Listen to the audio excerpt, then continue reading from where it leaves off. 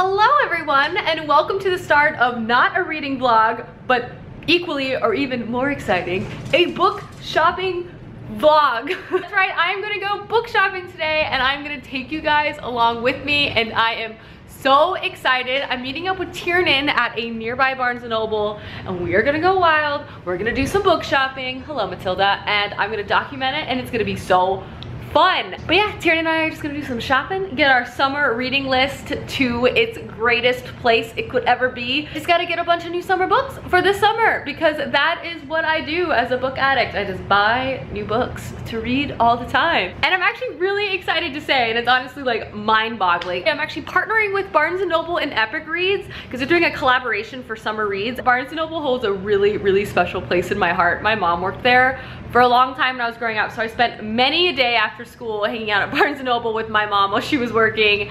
And every summer my mom used to let me run around Barnes & Noble and pick out like seven, eight, nine books for the summer that she you know, get for me with her discount. And that's basically what I'm doing today. I'm gonna cultivate the ultimate reading, summer reading collection and haul them and buy them and show them to you. So that's the plan. Um, I am dressed. I got these really cool new earrings and uh, gonna head out soon. Meet Tiernan at the bookstore. I'm so pumped. Millie, what kind of books do you want me to pick up for you? Any cookbooks you want to read about? Yeah. I've made it. I've arrived at my destination. Tiernan's getting coffee, which seems like the most genius idea. I've arrived home. I guess I could walk too. I've arrived and I found Tiernan who's And backlit. Yeah, I know. We were like, T- I walked up and Tiernan had a coffee and I said, that is the right idea. If we're gonna do any serious book shopping, we need to be caffeinated. Yeah. So we went to the Starbucks in Barnes & Noble. I've never can't been to this one. I've never been to here either. It's, It's- so beautiful outside in Chicago today. And um, this Barnes & Noble is also huge. It's way bigger than the one that's right by my house.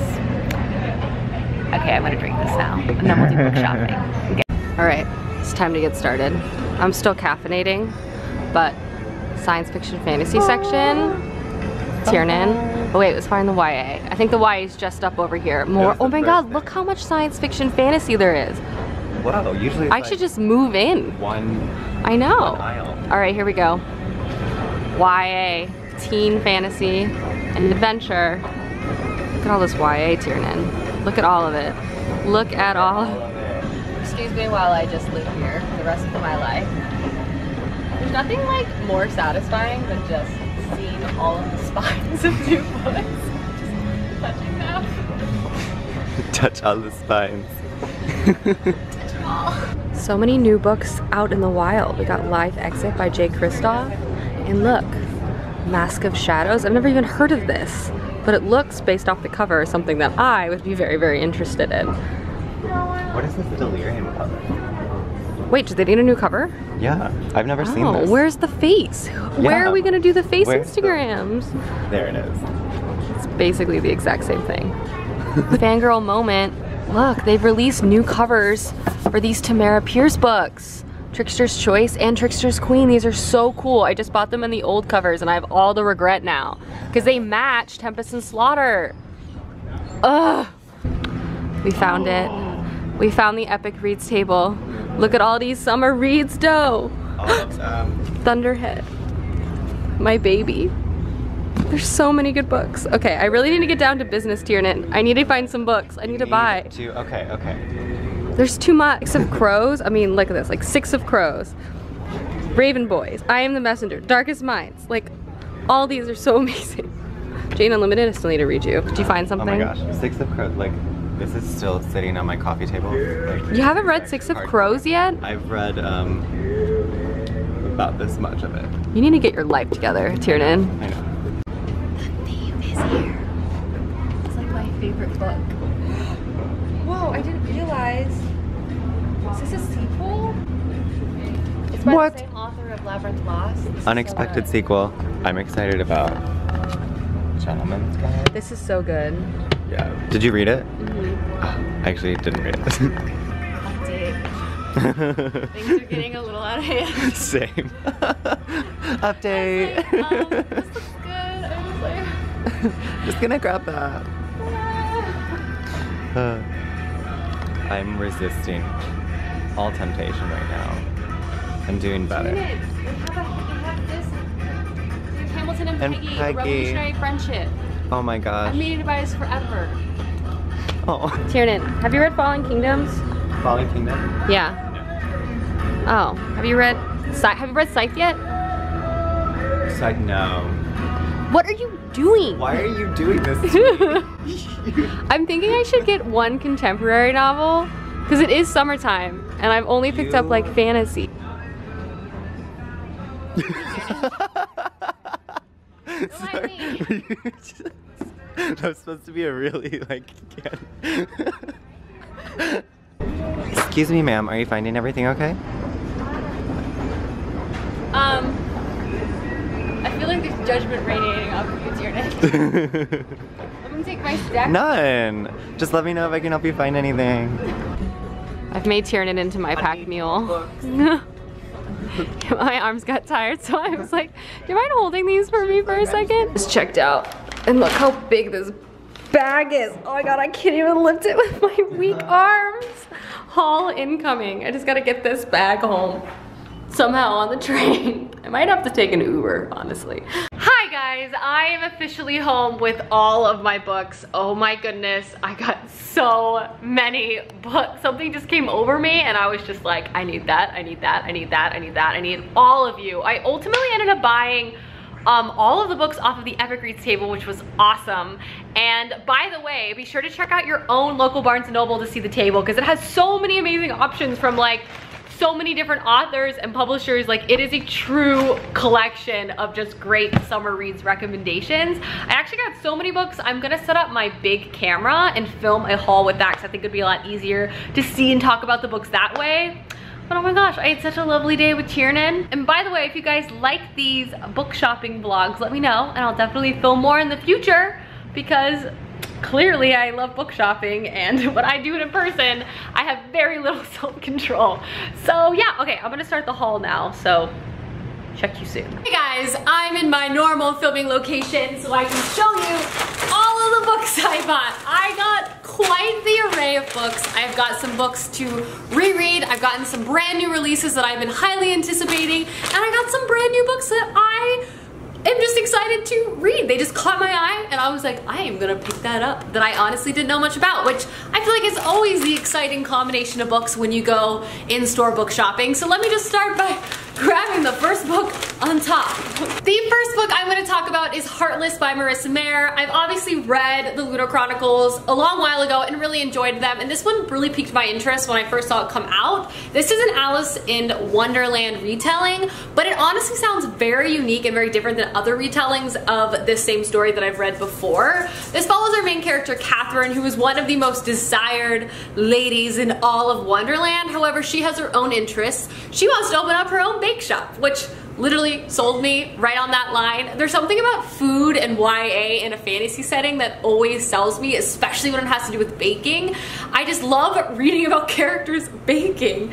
If that's weird, I'm sorry, but I just love it, okay? And also the, th the thought of like a fantastical bake shop, like really what more could I ask for? The next book I picked up was one that I've actually never heard of, but I saw it and read the synopsis and it hooked me immediately. And that is A Little Too Bright by Samuel Miller. This book sounds truly incredible and very, very, very interesting. It follows our main character, Arthur Lewis Pullman III, and he lives in the shadow of the first Arthur Pullman, who is a great American writer. Grandfather actually passed away a week after he disappeared in Ohio. His father struggled with dementia near the near end of his life, and what happened in that week before he passed away is a mystery. At the beginning of the story, Arthur III's life is kind of crumbling. He loses his academic scholarship, and he goes and lives with his aunt and uncle in Ohio. There he stumbles upon his grandfather's journal, and he begins to read it, and there's a lot of mysteries in this novel as well, and it kind of hints at what happened in the last week of his grandfather's life. From there, he departs on a cross-country train ride uh, where he basically uses the journal as clues to try to figure out what happened. This sounds like first part family drama, two-part mystery. I love the element of a journal and this cross-country train ride that we'd follow. This just sounds very unique and I am very, very, very curious to see what happens in this novel. The next book I picked up is a reread for me, and that is Unwind by Neal Shusterman. This is very bright. Let me lower this for you. And this would be a reread for me. I feel like I have been flying through Neal Shusterman's books in the year 2018 and I have read Unwind, the three books in this quartet, uh, a long time ago in middle school specifically and early high school and loved them. And I feel like with such luck I'm having with rereading Neal Shusterman's books, I wanted to re-pick up the series because I no longer own it and give it a reread. It's set in a world where abortion is illegal and parents can choose to have their children unwound for parts up until the age of 17. And it follows two kids who have been chosen for different reasons to be unwound and their flight for their lives as they basically try to escape the government. This book is really good. I remember loving it and I honestly don't remember too much of what happened and I really want to reread this whole series and so I saw the first one and I immediately picked it up. Plus, I'm really loving these new covers. They're quite bold. Next up is a book that sold me with the cover because it's beautiful and that is The Hazel Wood by Melissa Albert. I mean, seriously look at this. And this just sounds like a whimsical fantasy novel, which as we all know, is right up my alley, my favorite thing to read. And this follows our main character, Alice, who has spent most of her life with her mother on the road, with bad luck constantly biting at their heels. But at the beginning of the story, when Alice's grandmother, a reclusive author, passes away, they revisit the family estate, the Hazel Wood. There they start to read their grandmother's stories and their bad luck turns worse when Alice's mother is kidnapped by some of the characters that seem to be in Alice's grandmother's tales. From there, she stumbles upon a warning from her grandmother that says, stay away from the, ha the Hazel Wood. This just sounds like a dark fantasy novel that's kind of like fairy tales coming to life, which are always some of my favorite to read, and I'm super pumped about this novel. It just sounds dark and magical, mysterious, so yay. The next book I picked up was The Queen Rising by Rebecca Ross. And yes, another fantasy novel. I saw it and I was like, Mm -hmm, main character, Brienna, who has two goals in life, to master her passion and get chosen by a patron. She lives in a magical world where there are essentially five passions, are art, music, dramatics, wit, and knowledge. And when you basically find mastery in one of these passions, you're chosen by a patron, and that's kind of how your life unfolds from there. At the beginning of the story, our main character, Brienna, is struggling to find her passion and ultimately settles on knowledge. But her worst fears come true when she's not selected by a patron. For months later, her life takes an unexpected toll when a disgraced lord chooses her as her patron and she begins to kind of get thrown headfirst in the politics and the mystery that's surrounding this lord.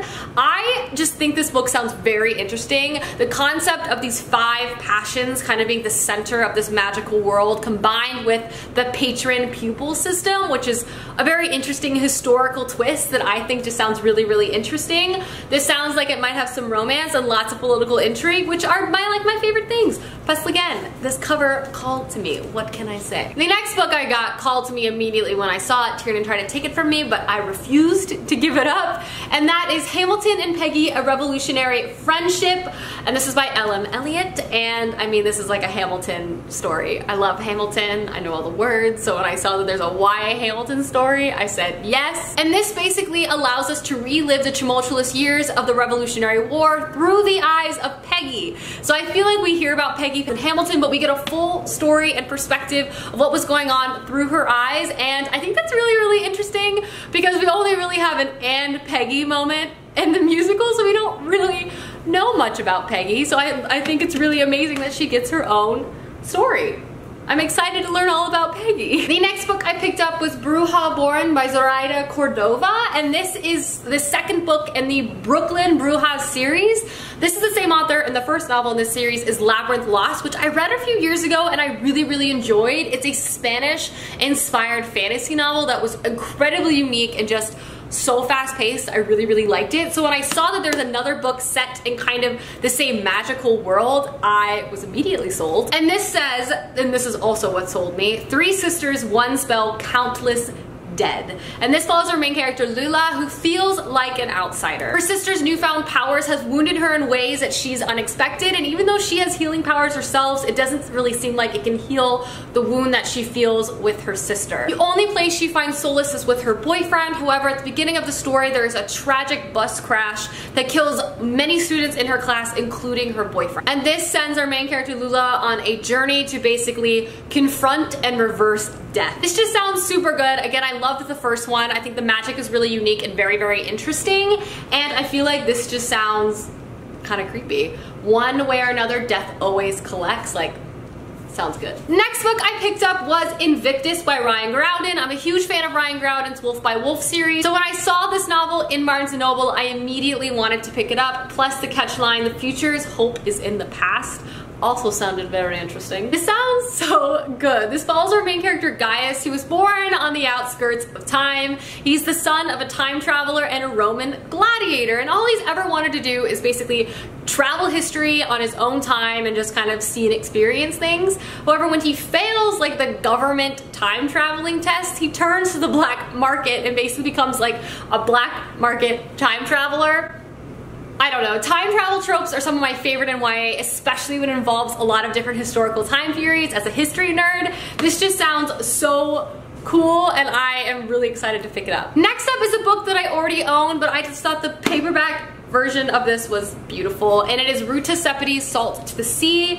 and um, yes, this is a book I've been meaning to read for a very long time. I've read Between Shades of Grey by this author and absolutely loved it. It was incredibly emotional and very, very moving. And this, I believe, is another historical fiction World War II novel that is of the same vein. Very emotional, very moving, but very necessary to read. And this follows the forgotten tragedy that was apparently six times deadlier than the Titanic. I believe this follows four different perspectives of four different characters, all from different homelands, hoping to find safety on this boat in the midst of a war. And we follow their lives and the unfortunate story that follows this ship. I have been meaning to read this book for forever, and I feel like it's going to be this summer, and I especially just love this paperback version, and I bought it. And the last book I picked up would be another reread for me, and that is Shatter Me by Tahereh Mafi. I owned this whole trilogy, and unfortunately, in the move between uh, Texas to Chicago, lost this trilogy. And with Restore Me that came out, I want to read that book, but I feel like I need to reread the original trilogy first, because I honestly do not remember anything that happened in this book series except Warner and how much I loved it. So I decided to re-pick up the first novel so I could give it a reread, and obviously this I feel like I'll fly through. This follows our main character, Juliette, who is in this kind of dystopian landscape world. In the beginning of the story, she's trapped in prison because her touch literally kills people immediately. Again, loved the story. I want to read Restore Me, need to reread Shatter Me, and I know I'll fly through this, so I pick this up. And now I have it. Alrighty guys, those are all the books I picked up on this shopping visit. I know, it was a lot of them. Please try not to judge me too much. Again, check out the Epic Reads table at your local Barnes & Noble. There's so many amazing books. I had such a hard time not buying everything. I mean, I basically bought everything, but like, I could have bought more things if I, um, you know, didn't exercise my endless amounts of self-control. Anyway, I hope you guys enjoyed this video, and I will see you guys soon with another video and another vlog soon. Bye!